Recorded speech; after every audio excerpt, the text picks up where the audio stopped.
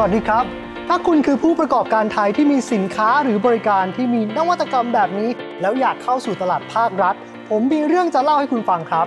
แค่ 3 ขั้นตอนก็นำสินค้าหรือบริการของคุณเข้าสู่บัญชีนวัตกรรมไทยได้ ขั้นแรก ส่งใบสมัคร และรายละเอียดของสินค้าหรือบริการของคุณ ที่มีงานวิจัยของไทยรองรับ มาตรวจสอบคุณสมบัติที่ สวทช เมื่อผ่านแล้วจะรับการตรวจสอบราคา และประกาศขึ้นบัญชีนวัตกรรมไทย โดยสำนักงบประมาณ แค่นี้สินค้าหรือบริการของคุณ จะอยู่ในระบบจัดซื้อจัดจ้างของภาครัฐ สูงสุด 8 ปี ภาครัฐสามารถที่จะซื้อสินค้าหรือบริการของคุณได้ ด้วยวิธีเฉพาะเจาะจง และนี่คือตัวอย่างสินค้าของผู้ประกอบการที่อยู่ในบัญชีนวัตกรรมไทย สิ่งที่คุณจะได้รับนะครับ นั่นเป็นการเปิดโอกาสเข้าถึงตลาดภาครัฐ ยกระดับนวัตกรรมไทย ก้าวไกลสู่ระดับสากลครับ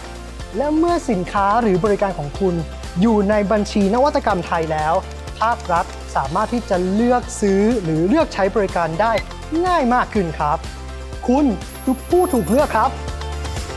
อยากเปิดโอกาสให้ธุรกิจของคุณเข้าสู่ตลาดภาครัฐแบบนี้ ติดต่อได้ที่ สวทช และสามารถดูข้อมูลเพิ่มเติมได้ที่ www.innovation.go.th ครับ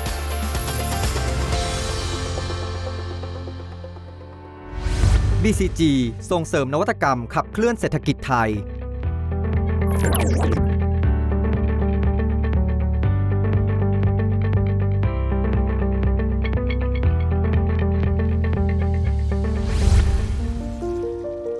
BCG